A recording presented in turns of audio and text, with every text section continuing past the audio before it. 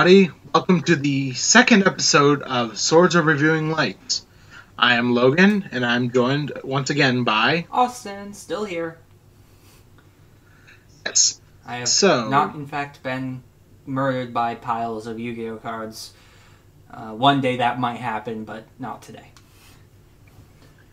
Yes. So, let's see. Today we watched the second episode of Yu Gi Oh! Because, well, it was only one duel, so.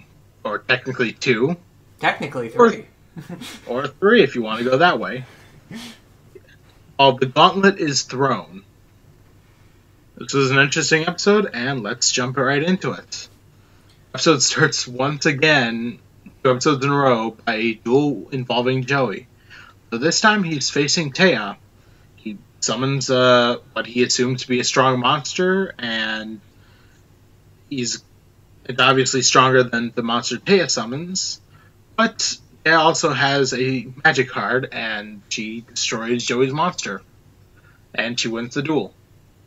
We're not exactly sure how she wins the duel, but you see, you actually see that multiple times in this episode where it's like they're like, and this person's won, and and you kind of have to go, but wait, did they ever actually like attack? No. Oh, okay, whatever. I guess they won. I mean, technically, the next duel does end in a, an attack. True, but also it was presented as though that was turn one, and I don't think that would have been enough damage.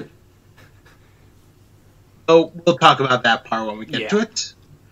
But, um, well, Yugi and Joey talk afterwards outside school, and Joey is wondering why he isn't doing that well. He keeps losing. So Yugi takes a look at Joey's deck, and it's completely full of monsters. Not one single spell, magic, or trap card. He apparently just filled it up with all the monsters he could find and said, "That's good." Yeah, that's. I mean, the only thing more realistic about that, from a like a new player building a deck perspective, is if Y- Yugi would have tried to grab the deck but couldn't because it was hundred and twenty cards thick. That would be really realistic. Uh, yeah, if you remember, in the, in the very beginning, there technically was no limit. oh yeah, I mean, you know, a little side tangent here. The first ever tournament I went to, I had this like. 80 card warrior spellcaster deck. It was so inconsistent, and I had no idea what I was doing deck building wise, but hey. Well, if I was a I'm correct, uh, yeah, if I'm correct, uh, they did have, they did eventually make a limit of 80 cards, and then they lowered it to 60. Yeah. I believe they always had a minimum of 40. Yes, 40 was always the minimum, so you couldn't just make a deck of the five pieces of Exodia and win. Yeah, that would be. Uh, it's. I'm. I bet that there was at least someone who tried that. I built my deck. Why is it only five cards? Let's just start. You're going to deck out so fast. Oh, hey, look, I win. It's five pieces of Exodia. Yes. So, Yugi talks about his grandpa and how he's an amazing duelist, despite the fact that Yugi won the previous duel that his grandfather lost. So, who's really the better duelist there? Amazing duelist. Could never draw five cards. Mmm.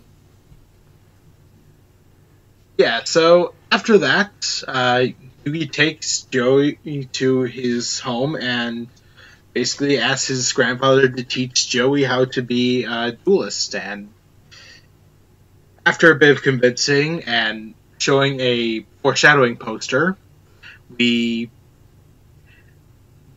well, we cut to apparently several weeks later. Yeah, I made a note of that too. When when Téa just makes a little comment of like, "It's been you've been training for weeks," and it's like, "It's been weeks." It's that's a random time skip, but okay, it's been weeks. At the time, it does kind of make sense with what happens a little later in the episode. Yeah, since a lot since like when you since the beginning of the episode could have been like maybe a day or two after uh the Kaiba's defeat. So a couple weeks past makes sense for everything else that goes on. And well, ap- well, uh, the guys are watching the uh, finals of the current tournament, And they even uh, make mention to the fact that, well, they introduced the two new characters, Rex Raptor and Weevil Underwood, who are the current finalists. And, as And they start, and well, they start off their duel, and we continue, and we continue in the background of the main characters, in which Yugi gets a package from Industrial Illusions, which is the company that makes the card game. I, was going to mention uh, as we as we learn uh, in the future, you can't spell weevil without evil.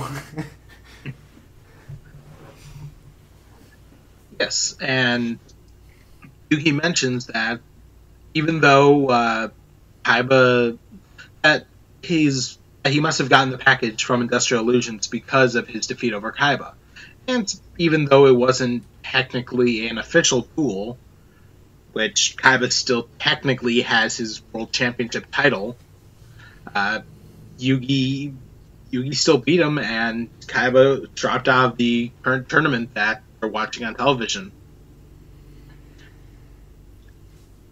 So they get to continuing watching the duel, in which, well, they're nearing the end of the duel, and Rex brings out his most powerful monster, which, no, it's not.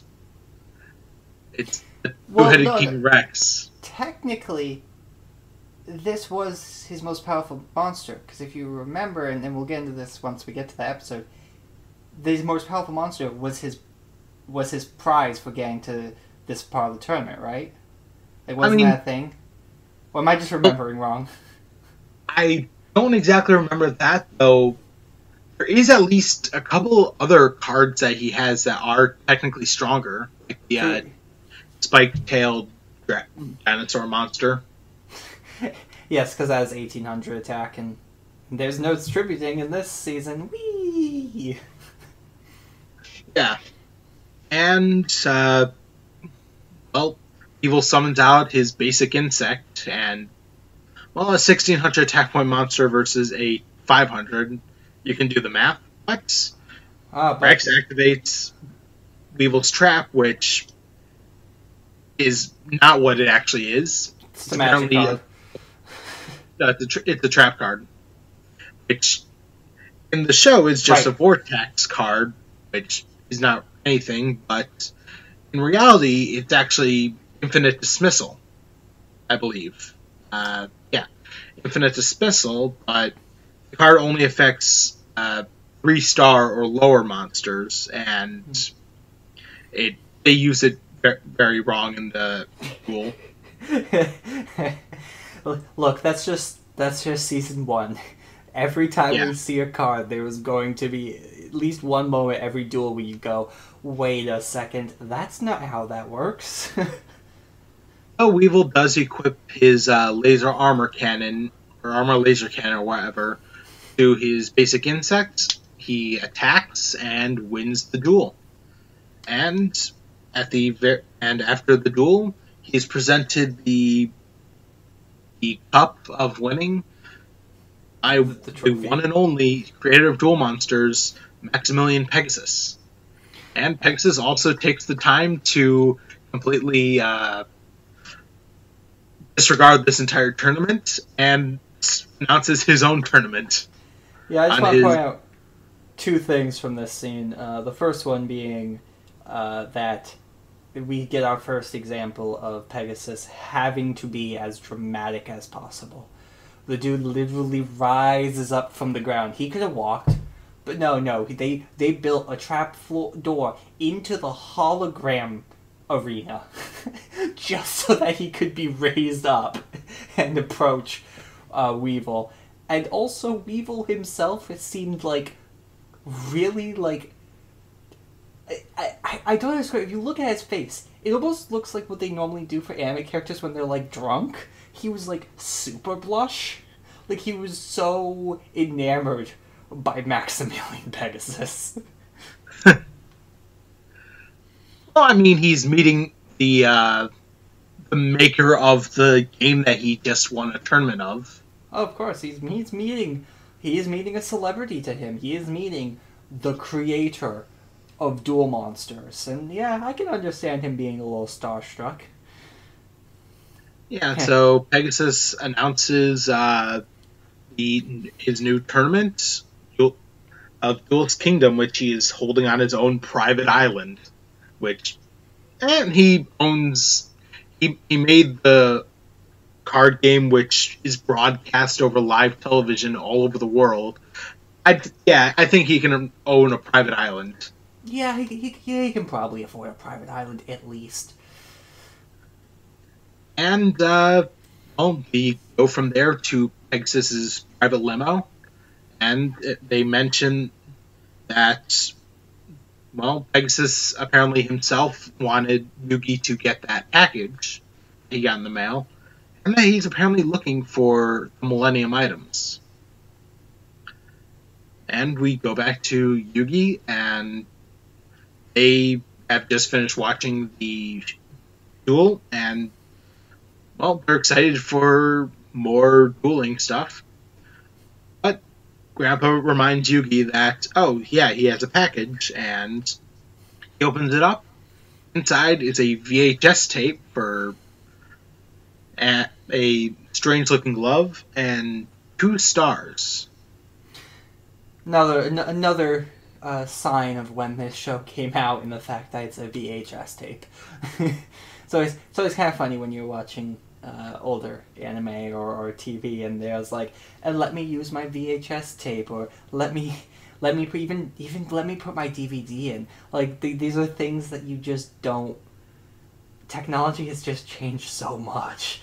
like using a floppy disk and stuff like Ex- that. Exactly, and it's even funny just to look in within the series. You know, the very first series we have a VHS tape, and now in the most modern series, it's all takes place in virtual reality, and it's not even like that much of a too far distant idea. Like that could just legit be a thing. That is true. And so Yugi and the others thinking that the tape will most likely provide some answers, he puts in he puts the tape in to his VHS player, and Pegasus is there. Pegasus uh, congratulates Yugi for his defeat of Kaiba, and challenges him to a duel, which how is Yugi supposed to duel a, a tape, a pre-recorded tape, is oh, beyond anyone. It's it's a very simple answer, as is shown in the show, and literally yelled out by Pegasus. Magic, it's magic. yes. So in order to duel them, and Pegasus sets a 15-minute time limit on the duel, and he's and he brings Yugi and himself to the Shadow Realm. Uh, the first mention of the Shadow Realm. Uh, what? The Shadow Realm. but this seems to be a one and only thing in which uh, apparently time has frozen in real time in real life. Yeah, it's a weird uh, um, version of the Shadow Realm, though. Of course, the Shadow Realm kind of became the Dub's answer to any. Well, this could be like them. Well, this could be Pegasus bringing them like directly into the Shadow Realm and not just like bringing the Shadow Realm to the real world. Either way, we get ourselves the first duel between Yugi and Pegasus. Pegasus starts and just plays the card face down. That's pretty much it and Yugi, and it becomes Yugi's turn, and he's about to make his move when Pegasus halts him and calls out that Yugi's about to summon a dragon.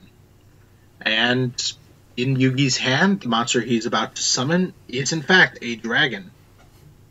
So he activates his dragon capture jar, which once again doesn't they don't use its effect because it takes Yugi's card from his hand and traps in the jar.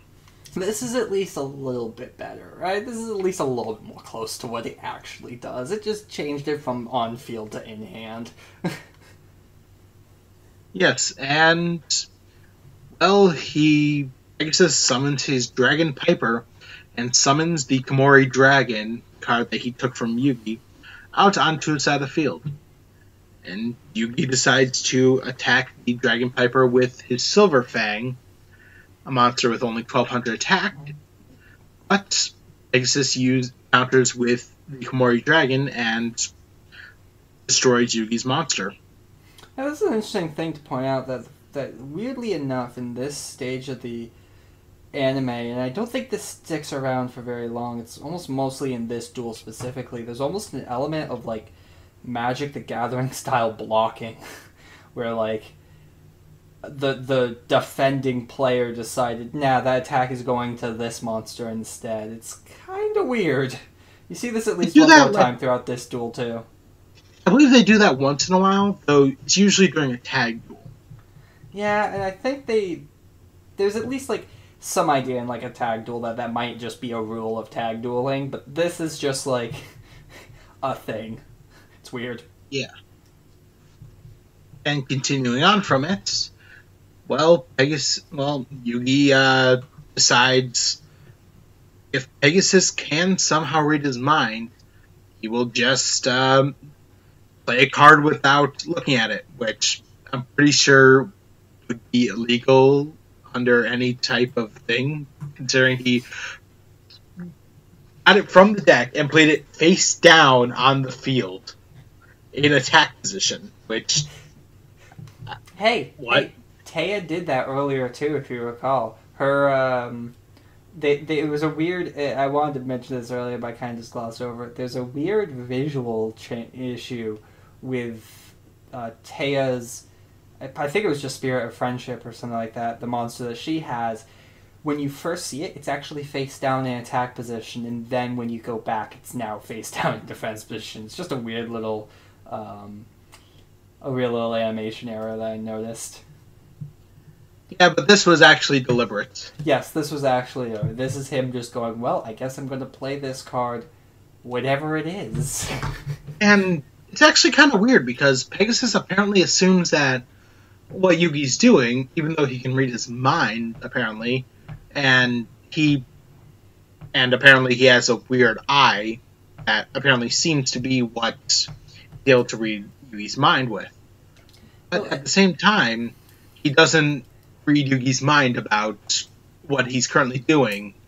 Well, there was a moment of this uh, that I also made a little note of uh, that I simply wrote flashback five seconds, because there's a point where Pegasus uses the eye. You see a little image of, of the skeleton warrior or the zombie warrior, whatever it's called. Um, I, I should be better at names of Yu-Gi-Oh cards. I really should, but uh, he he sees a little image of that and then's like, "Hi, you're going to play that zombie card, aren't you?"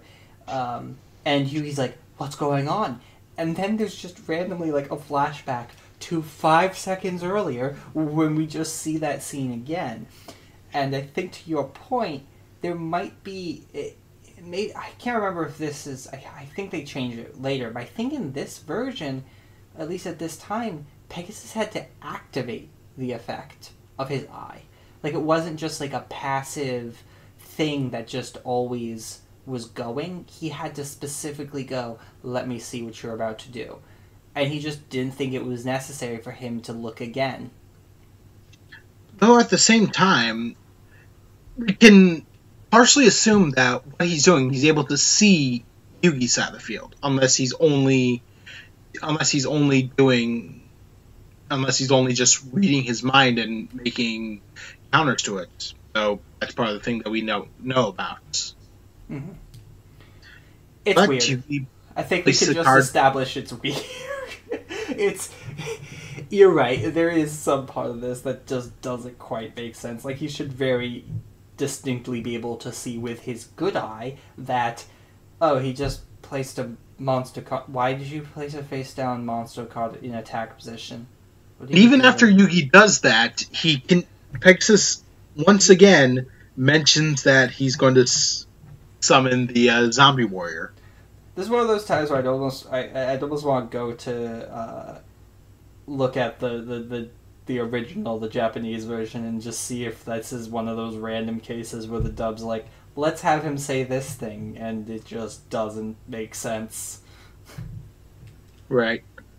But Yugi flips over his card, and well, it turns out to be a well, it turns out to be the Dark Magician.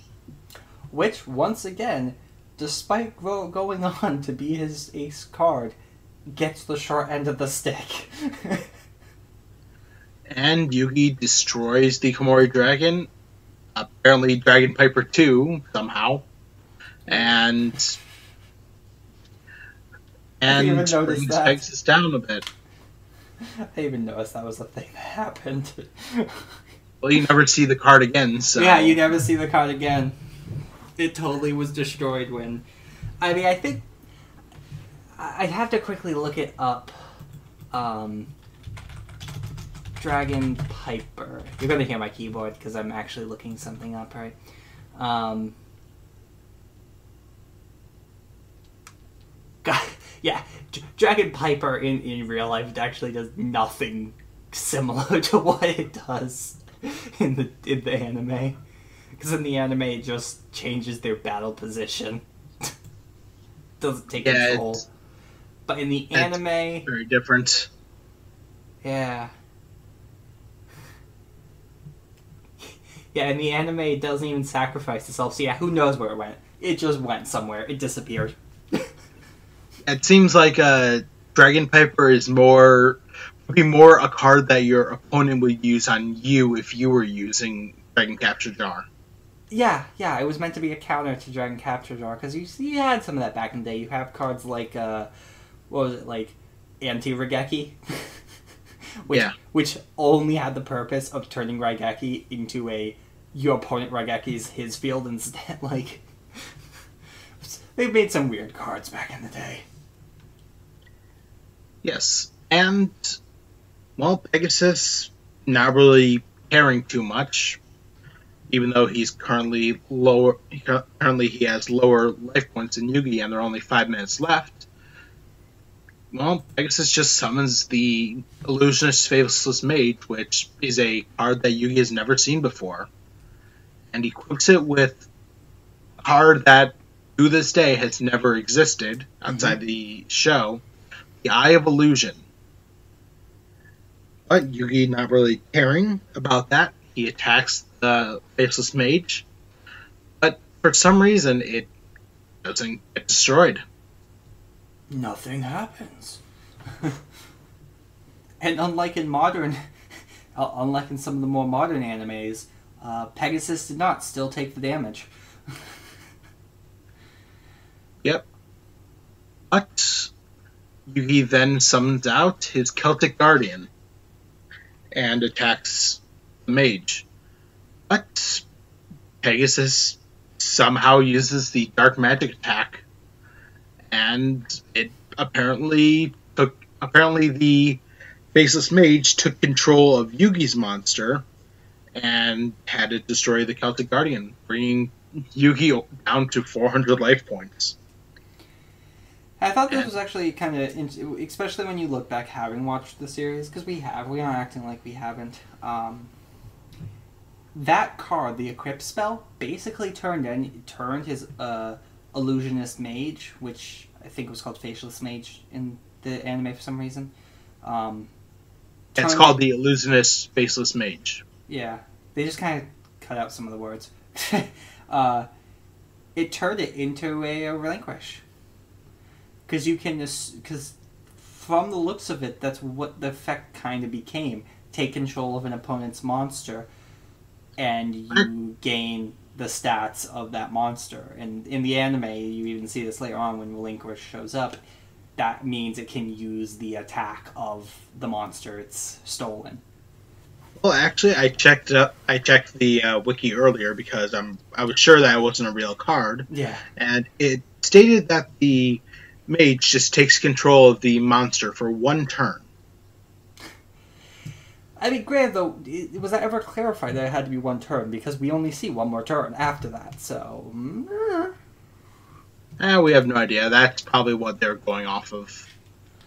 But essentially, after that, the uh, well, we don't see the Dark Magician after that, so it, it possibly could have been destroyed. True. But Pegasus is pretty much assuming that he's won because there are only 10 seconds left. But Yugi's like, Pegasus, you have no mo- you you only have your one monster, and there's still a little bit of time left. So Yugi summons another pretty signature monster of his that you'll see a lot, the Summoned Skull. He Ah, yes. attacks in which it, it attacks in a way that we never see again. He basically directly attacks the monster physically when later on we only ever see it use electric attacks. Even in the intro we see using an electric attack. Here it just decided to straight up maul this thing. Yeah. But it ends about a second before Summoned Skull could attack. And Oh, so well, sorry. Yugi lost. And with the loss, Lugi doesn't. Lugi? What? Yugi doesn't just lose the duel, he loses someone very close to him as Pegasus steals the soul of Grandpa. And that is more or less where this episode ends. Yeah, Pegasus ended off saying that he will keep his grandfather's soul until their next duel, basically using it as collateral. hmm So, that was episode two, and there's a few things I mentioned. I, I wrote down as notes. I didn't really have time to mention while we were going over the episode, but I kind of want to bring them up. Um, the big one being Pegasus is a is my favorite villain. I've mentioned this last episode, and this is one of the reasons. He's the only villain I've ever known to monologue for victory. like almost always when a villain starts monologuing, it's just like the idea of uh, oh he's about to he's he's just monologuing now, and this is just gonna buy the time the hero needs to get out of this situation or whatever. But no, this is actually the one time where.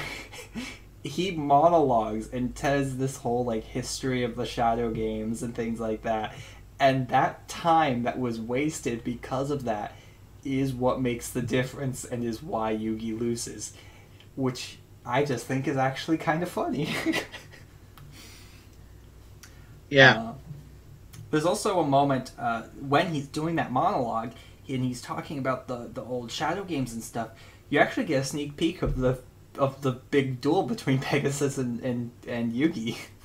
more foreshadowing. Yeah, because it's there's a there's an animation of Dark Magician of Chaos defeating Thousand Eyes Restrict.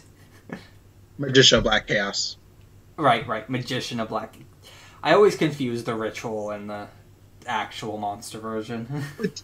Which, when you think about it, it's actually kind of funny considering, uh, well, during this episode we see two foreshadowings of the two uh, ritual monsters Yeah. of, in Yugi's So yeah, that was just some. Of, oh yeah, there's also a uh, uh, when when he summons the Dark Magician, and and Pegasus doesn't seem flustered. Yugi says, "My Dark Magician is one of the strongest magic cards in the game." You okay there, Yugi?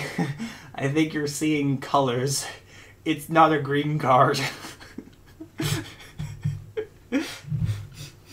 I don't know why he calls Dark Magician a magic card. It is very clearly not a magic card. In fact, that was one of the thematics of this of this episode. If you notice going through the episode, there's multiple cases of them going, "Hey, it's not just about the monsters. It's about using magic cards and trap cards to supplement them." And you know, you see that in the very first duel between Joey and Téa. You see that in the Rex and Weevil duel, and then and then Yugi just calls Dark Magician a magic card. Why? So if though when you do, though you do realize that Yugi didn't act, Yugi only summoned three monsters in this entire duel, or No, he summoned. Yes, he four summoned- monsters. he- uh, Four no, monsters four during the entire duel. Because Wolf. Yeah, he summoned four monsters during the entire duel and did not use any spell or trap cards. And that's why he lost. Yep. And, and hey, we see the next time they face, you know what Yugi has? Spell cards. Ritual spells, to be specific. a lot of them. Yeah. Cards that seemingly come out of nowhere, I, considering we've never seen them beforehand and we never see them again. I will say though, once we get to that episode, uh, if I'm remembering correctly, it's not as an out of nowhere as you might be remembering. They do show a scene of Yugi going through his deck and editing it before the his his game his match with uh, Pegasus. You have to wonder where did he get these cards anyway? Considering, well, later they mentioned that Yugi's not going to edit his grandfather's deck. because he while that's true he does he does edit his grandfather's deck And Uh, where did he even get the cards anyway? i mean as we see in the next episode he had to edit his deck because suddenly five cards are missing. So That he, is pretty true. he has to fill five spaces. And so he does have to edit his deck and i think these cards are shown to be other cards he could have put in the deck but he didn't at the time and now he's like you know what? I need these guys. Um, it does of course look it's still once we get there i think we'll have more of a discussion about this but this is definitely an issue with most of, of most of yu-gi-oh anime where the protagonist suddenly has cards that they didn't and you're like when did you get those and there is no good answer it's just he's always had them maybe i guess you just never I drew think it's them. only, I think it's only GX in which random cards appear out of nowhere. And you actually get an explanation for how they appear out of nowhere. And to an extent, I will say Vrains also. Uh, they because it's actually the like the mechanic of the the speed duels that he can literally pull a card out of nowhere because of his unique ability. So they at least Actually, technic- technically, the first episode of uh, Arc Five as well. Yes, yes, I will. And and uh, don't get me started about Zexal, where it's literally just. It's it's almost worse than Zexal because he's literally shown at one point to turn a card into a different card. it's like what? No, you that's cheating. uh, but Yu-Gi-Oh! Yeah, protagonist superpowers. That's a that's a discussion for another day. Yeah, we will get to those in probably a couple years' time. Well, in due time, we will we will discuss that madness. Yeah, who knows if we'll ever even finish this podcast. Who knows if we'll finish this episode? Dun dun dun. So, what did you think about this episode? Looking back at it, I thought it was uh, very nice. It was so it was a lot of fun and gave us some good explanation to stuff that well will need explanation eventually and eh, best get it out of the way early on yeah, this and a good and a good way of filling up time. this was the hook episode, right? This is the episode where they had to go. Okay, what is going to be the actual plot? Because we had the first episode that introduced the basic concepts and and showed Yugi's heart of the cards and power of friendship. You know, it literally introduced all the basic concepts. Now, what's the plot going to be like? And this had to be the episode that gave you the hook. And so you see Pegasus talking about his Duelist Kingdom tournament. He meant he's talking about the Millennium items that we've heard in the intro, but haven't seen anything other than Yugi's. And you start to get a, a feel. It becomes very clear that here is your protagonist, here is your antagonist, and here we go. Here is the story that's going to be told. Um, and so I think this episode definitely does that well. I think there's definitely this episode probably. I mean, I'll probably I'll. I'm gonna say I'll say this now, and then we'll get to another episode, and I'll say it again. This episode, I think, is the one that most bends the rules, but I'm, there's probably another episode that's gonna make me change my mind on that. But they definitely take a lot of liberties with what the cards do in this episode, a lot more than we tend to see um, in future episodes. I mean, you do still have the occasional shoot the castle or call of the haunted giving percent attack points, but and part that doesn't exist. cards that don't exist, like I'm okay with because it's not like they're they're not breaking a rule that exists because they just made a new one. but yeah, uh, this this this duel definitely had these duels definitely had a lot of. Uh, it happened. It, it, there's there's a lot of like, okay, I guess that's how this works. I don't know. Um, I was just disappointed that that that, that uh, there was. Um, you know, strike that. I'm not disappointed. I got to see Pegasus. He's my favorite villain. Best episode, 10 out of 10. uh, it is, it is, I think, though, interesting note that he doesn't use any of his actual cards, so to speak. Like, he just, he, he hides his Toon monsters until uh, the end of, of the arc, which is very smart of him. Keep, keep as much deck knowledge out of the hands of Yugi. since your power yes. is having deck knowledge. and I guess that'll be the end of this episode of the Swords of Reviewing Lights. Yes. we will be back next time covering episode 3. Whatever the title of that episode is, I don't have Netflix opened right now. I probably should, but I don't. Do you have the episode title? I will in probably just a second. I will stall for more time. Journey to the episode three. Journey to the Duelist Kingdom. Journey to the Duelist Kingdom. Ah, oh boy, that that episode. Looking forward to our next recording. I'll say that much. it should be a fun one, considering. This is, this will be one of the few, very few episodes without a single duel in it. Yeah, it's an episode with no duel and some wonderful dialogue. so, until next time, guys, I'm Austin. I am Logan. And ta-ta! I don't know. I still haven't figured out what I want to say at the end of these things. Goodbye! And if you want to send us an email, you can send one to us at reviewinglight at gmail.com. Thank you guys, and we'll see you guys next time. Bye!